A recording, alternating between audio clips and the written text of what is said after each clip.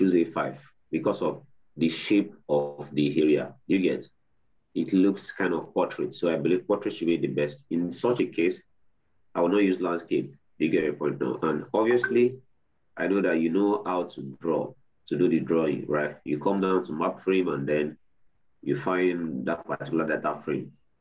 For this particular one, let me let me choose this. Then just gonna draw it to it. So just like every other map. So I try to expand this and create a section for for grids. So uh, jack this up and make it more kind of big. To make life easy, you have the grids here. The lower the number, the bigger it is. So we have 1,260 here, 1,211 here. Let's just make it 900, 900,000. 900, so it should be big. So I just come here and put 9 and press enter. So you see it's bigger. It's not still enough. Then let's go to 7. Then click enter. It's more bigger. So can I come here and just say 8 then and click enter. Can you see? Which is very good. It covers enough. I can then come here and go to activate. Activate give me room to drag to the center and just bring it like this. Because I would like to place my legend here. If I replace it here, and place my legend here, it won't be okay. So you you structure the places you put your element based on based on uh, what do you call it? Based on the shape of the area. So in that regard. So remember that I activated the to move, then I can just cancel and say, okay, fine, go back to layout. So it's back, back layout now. So if I want to move again, I come down to layout and select activate and drag it. Right? Very good. So I'll go back again. So now the next thing I want now is my legend. So legend. Another thing I want you to put, you know, to adhere to, to ensure that you you don't forget is legend. So you see now, see my legend now. My legend covered a lot of stuff because in this particular map section, there are so many layers there. How do I control this in ArcGIS Pro? See this place here, everything I create, they are here. You get a point now, you see the everything here, there here. Area boundary, you know, which is white, the elevation. You see the E shade, which makes it to look like this. They are all here. So, but the most important thing I need here is my legend. So I have here legend. You see, you can drop this down. Click on it, it's dropped down. So let me remove the unnecessary. Uh, I remove this. You can watch as it changes. I remove this. I remove this. I remove this. The only thing that I need here is the elevation, isn't it? Now, looking at this one now, so that means I've it, I've get rid of other ones, then I can just bring it back like this. So now, look at this now. It's not big, isn't it? It's very small. What do I do? I select on it, and I come down to elements. You see, element is somewhere there. Do you get the point now? If it's for your own case, you cannot find it, you can just right click on it and click on property. Do you get so is to show me display still element. It's just pop it up here. So this is active, right? Element. On this element, this arrow is very important. It helps you. You see this drop down here. Click on it, and then you can change many things. Group layer name, layer name. You see, layer name is the name of the layer. So this one now is layer name, elevation, isn't it? Layer name. Let me click it and say, okay, fine. I want to change the property of the layer name. Property, very most important you, you break this down, you choose appearance, very essential. You expand this to make it more audible. Then you can come here and click on bold. So it will, and you click on apply. You see, you change the layer name elevation to make it more bold. So you might want to change this to below this meters or probably you know do some things there, but you don't know how to do it. What do you do? You still click this, you return this back the same way, you drop down this arrow here, in this case, not layer name, it is what the head is. You get the point now. So you can come here to edit, click on appearance, yeah, and come here and bold and make it, you know, probably 10. And let's see what happened there in that regard. So you see now it's more smaller. So I'm just gonna come here and make it like 14 too. Just a, a scenario. So it's a meter, right? Apparently. this section you might like to change it to, you go back, right? And then you click on the drop down and then it's called label. Hmm? Earlier, I explained layer name, which is the elevation. The second one was Eddie. It is this one. The third one is the layer name. Those are these numbers. So they are too small. So you can come here and say, okay, appearance, right?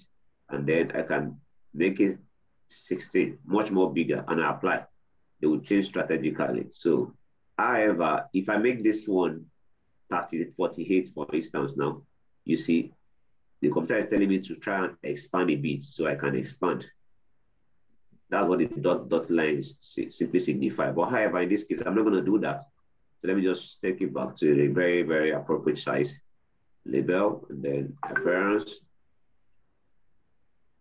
Come here, and then just choose 16, which is good. So what if I want to expand this? Let's say for instance now, I want to expand that symbol to make it more bigger, right? I could just come here and just go down. To do so, if you want to expand the figure, you come to this place. Not this, probably this, you know. I mean, still the second one. So spacing.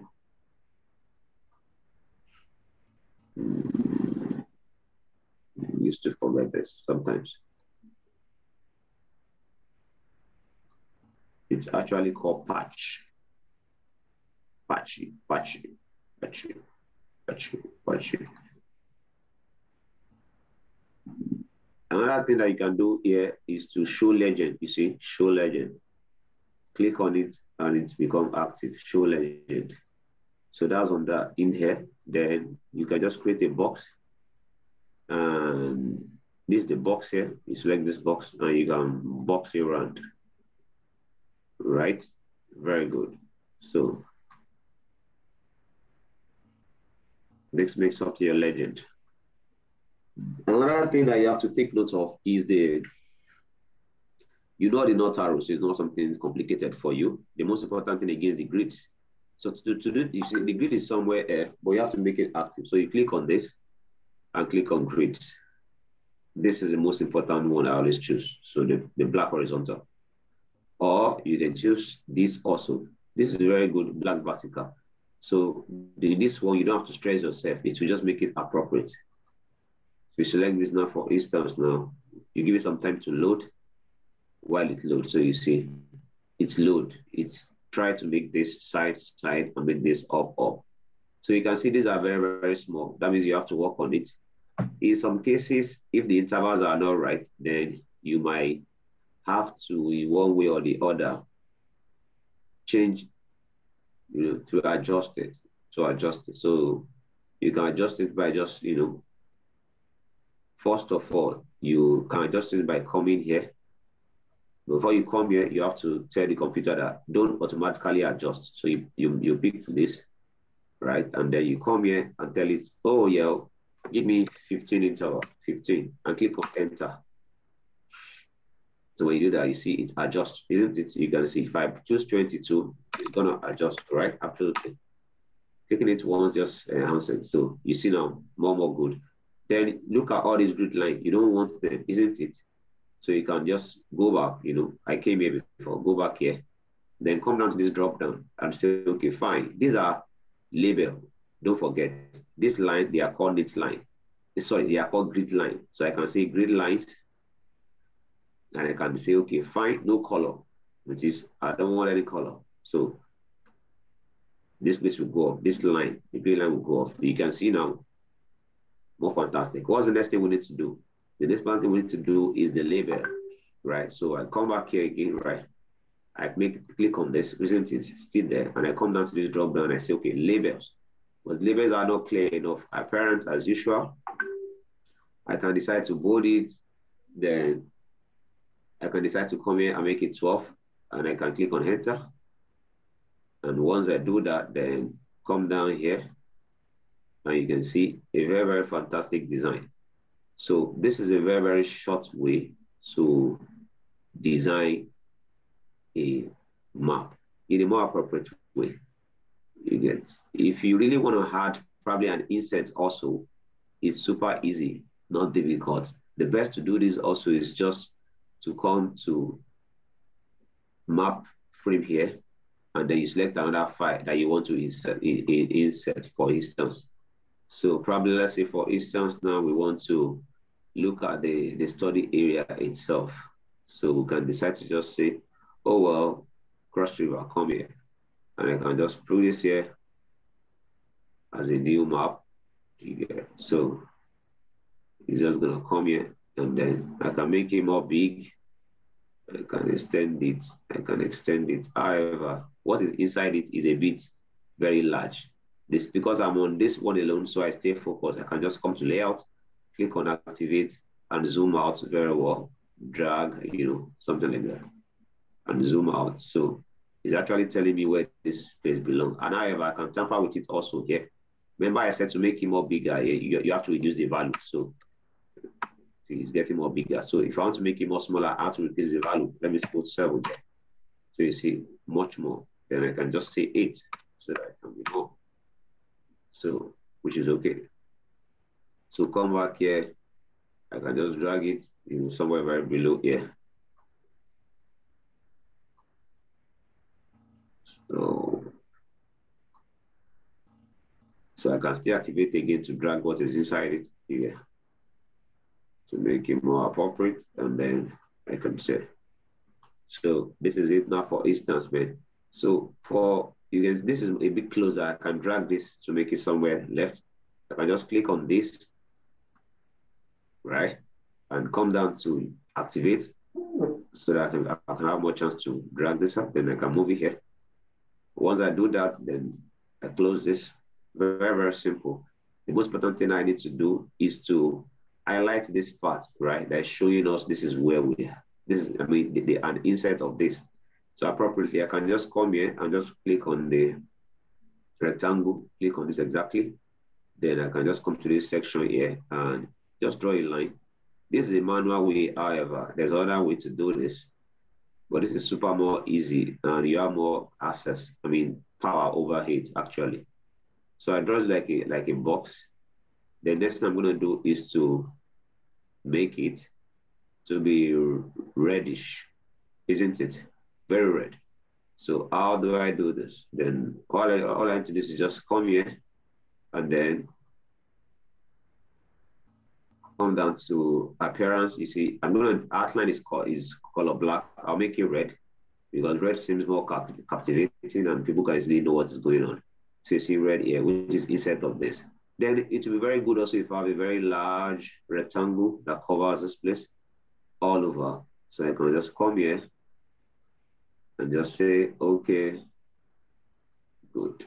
So I make it like this. But do not forget, this map does not have a title. So I, I purposely didn't put it for one reason or the other because of the fact that this map is purposely being made for research purpose. So probably someone that is writing a paper, for instance, now, writing a research work, you don't have to put that on your map because in the paper itself, there's a section below that you can just describe the figure that you are trying to represent. So that's why. So when you are done like this, you just come to share. You come down to share, it, then you can click on layout. This place pop up. It tell you which file type. Is it JPEG or PNG? You are free to choose. SVG is also available too for website embellishment. However, select the folder that you want to keep it. You know, a very appropriate one. At the same time, you can select the DPI, you know, the display pixel, you know, value the higher it is, the more high quality and more heavy it's going to be. Then you click on export to export the map. Once you export the map, it's saved on the repository that you want it to be. And then once you do that, then it's fine. Thank you so much.